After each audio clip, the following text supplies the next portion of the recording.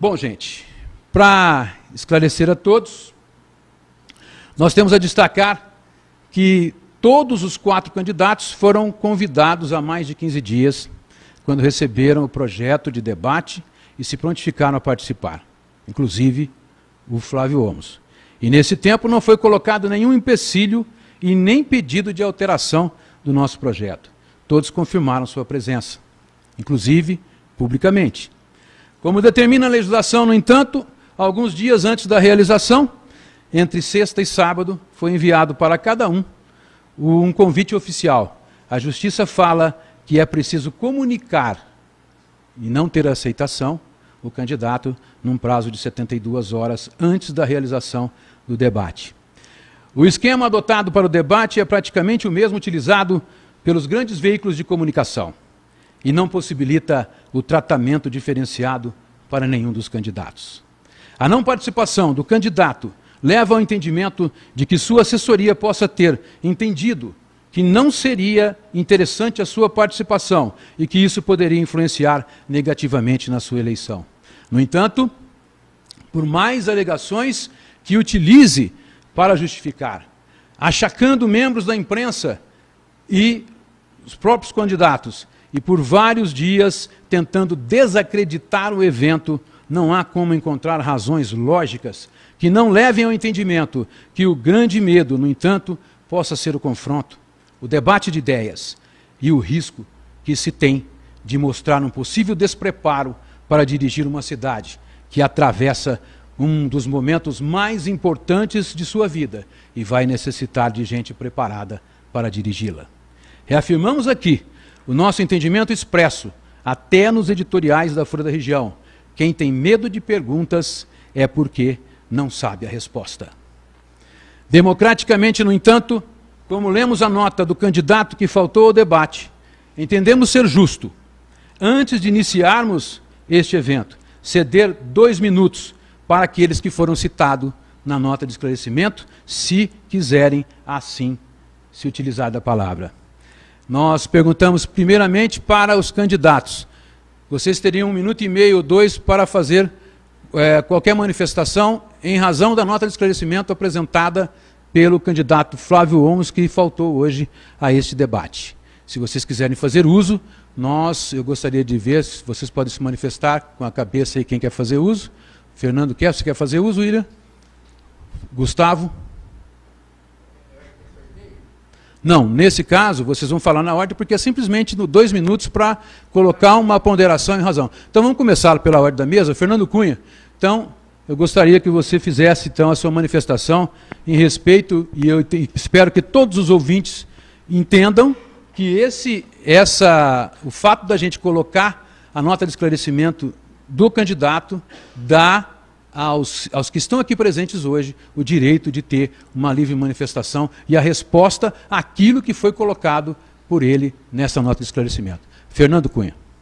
Boa noite a todos.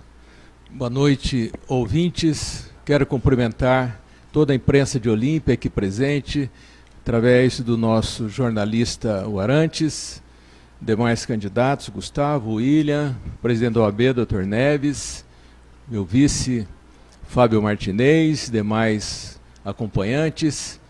Olha, estou aqui com toda humildade como um candidato para Olímpia, de Olímpia, e venho aqui num momento onde exercemos a democracia. O contraditório faz parte da democracia.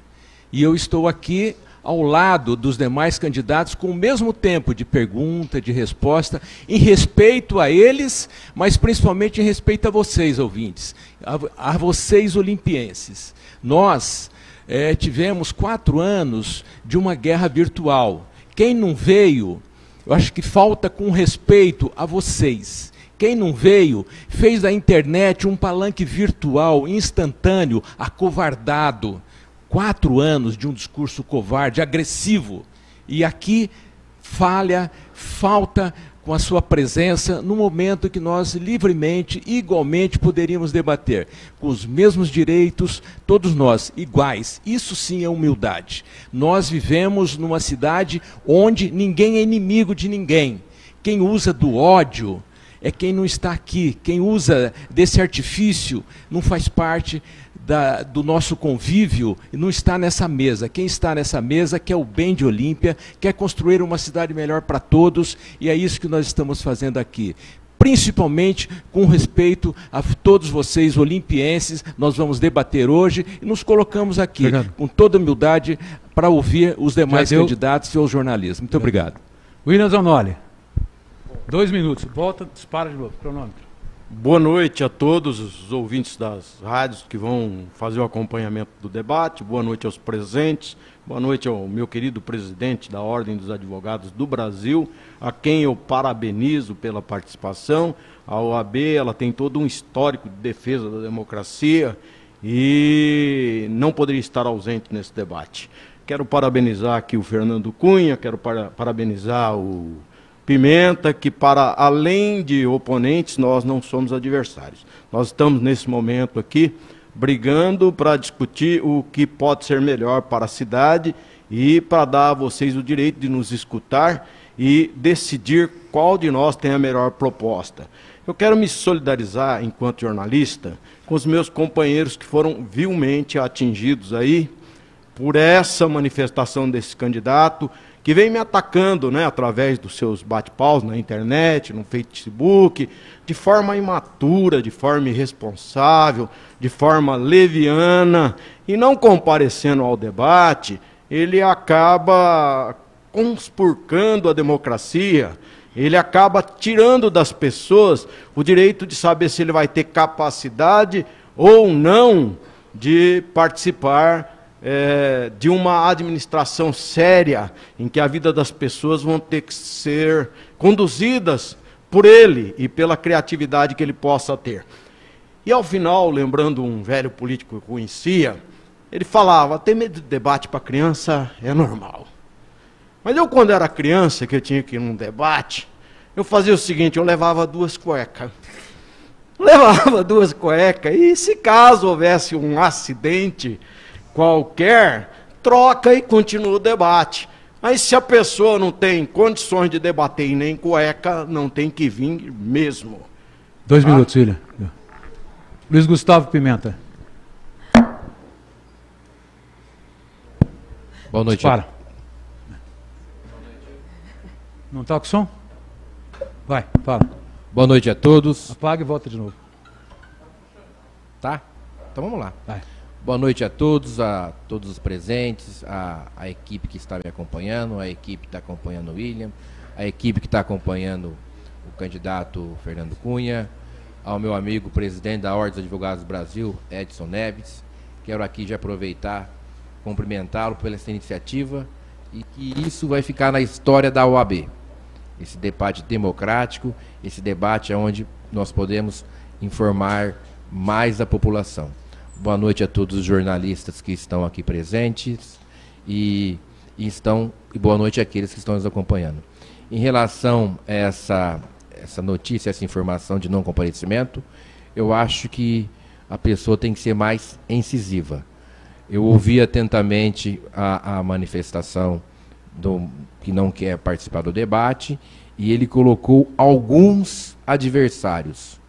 Eu acho que deveria identificar é, se existe algum comprou, ele se está sentindo prejudicado, e, e, se identifique quem são os seus adversários, não alguns. Porque se não tem coragem de identificar o adversário, é, a pessoa não está preparada para estar aqui no debate. Eu, quando eu falo, falo direto, e nesse debate vou falar direto aos candidatos que me atacam e direto aos candidatos das propostas que eu tenho.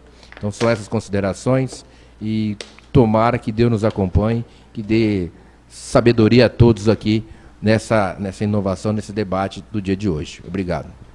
Bom, como os órgãos de imprensa também foram citados, é, eu inicialmente pergunto para o empresário Miguel Daúde, que está representando o Espaço Livre. Quer exercer o direito de resposta, de falar? Não.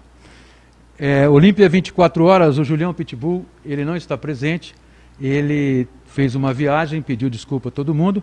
Ele deixou as perguntas dele aqui, ó, quatro envelopes separados para ler, lacrados, para a gente abrir e ler na hora fazendo as vezes dele. Tem também o Diário de Olímpia, Leonardo Concon, ele vai fazer uso da palavra.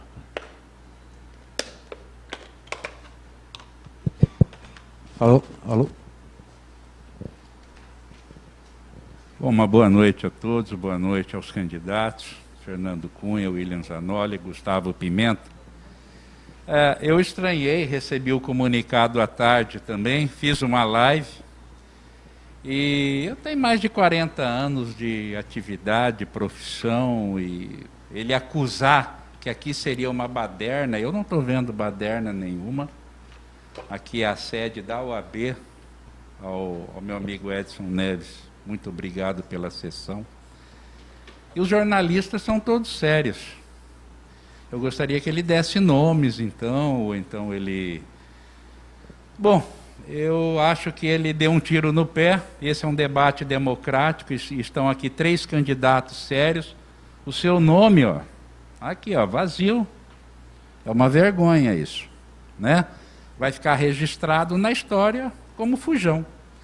E o Diário de Olímpia está retransmitindo, agora, assim como Olímpia 24 Horas, assim como Espaço Livre, a, a Gazeta, os jornais de Olímpia. É uma oportunidade para o senhor debater. Não tem carta marcada.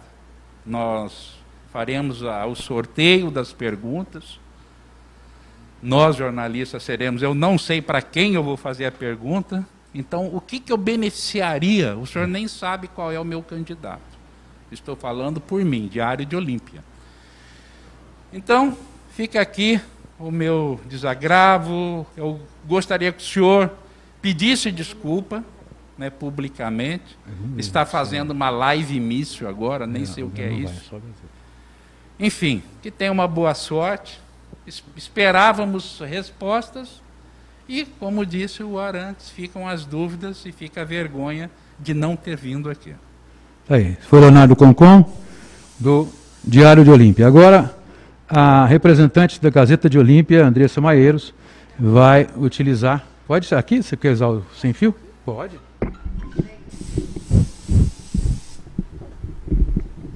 Obrigada pela gentileza. Olá, boa noite a todos. Boa noite, Arantes, Bruna. Obrigada pelo convite. Cumprimento os presentes, candidatos, assessores, colegas de imprensa. Eu sou Andresa Maieiros, jornalista, formada há 25 anos e atuante na área. Represento o site Gazeta de Olímpia, empresa da minha família, fundada há 15 anos. Eu acredito que estou preparada para participar do debate e qualificada profissionalmente. Cumprimento os candidatos e desejo um bom debate. Obrigada.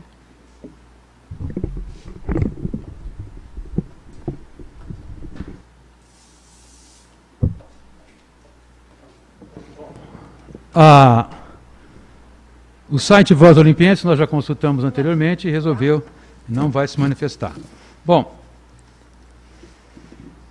é, apontamos nesse instante, então, todo mundo sabe a presença do candidato Fernando Cunha, que é do PSD, PSD e da coligação Olímpia Forte Unida para Crescer. Luiz Gustavo Pimenta, candidato do PSDB, e William Zanoli, do PT. Flávio Omos, portanto, não compareceu. E a quem agradecemos a presença e enaltecemos o sentido democrático da participação neste evento, que, sem dúvidas, ajudará o eleitor na escolha do seu candidato. É, os candidatos, esse evento não é aberto ao público, vocês estão percebendo, e quem está em casa Fique sabendo, porque a gente está vivendo uma pandemia. Então temos que respeitar as normas sanitárias. Aqui a plateia, as cadeiras da plateia foram todas sinalizadas para que mantenha-se o distanciamento exigido pela vigilância sanitária. Nós temos máscara à disposição de quem não tiver e álcool em gel à disposição. Portanto, estamos seguindo todas as regras da vigilância sanitária.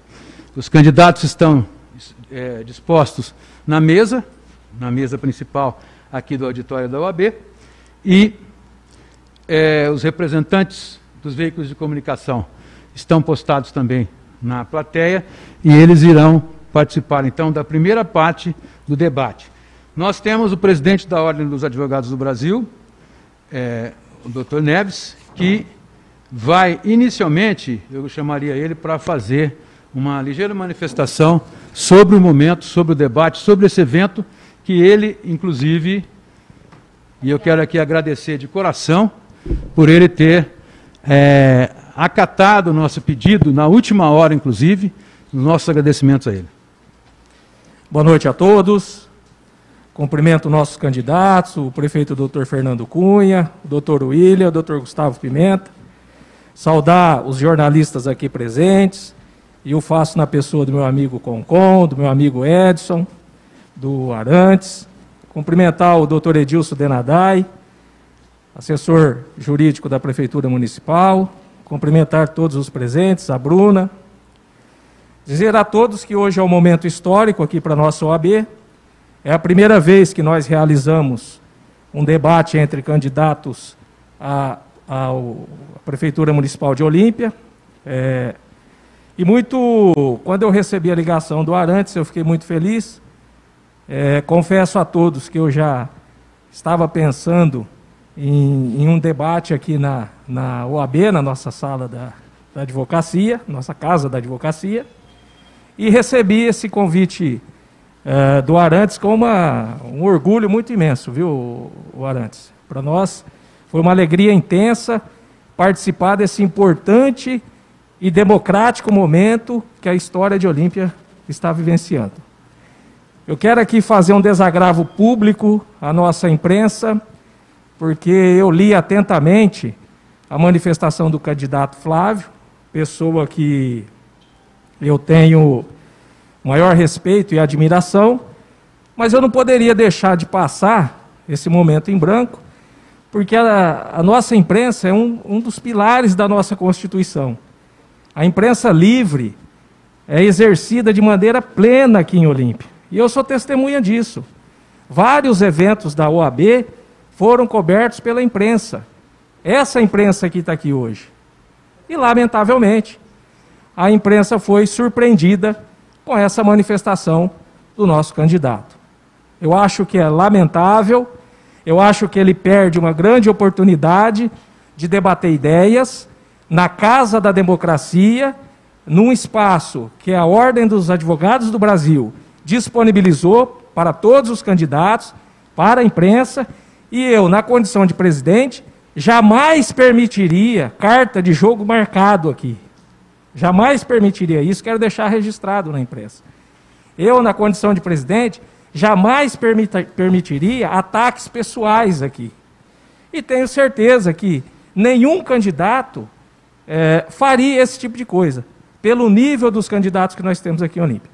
Então, agradecendo imensamente a, a oportunidade, cumprimento a todos e passo a palavra para o Arantes. Muito obrigado a todos. Gente, começando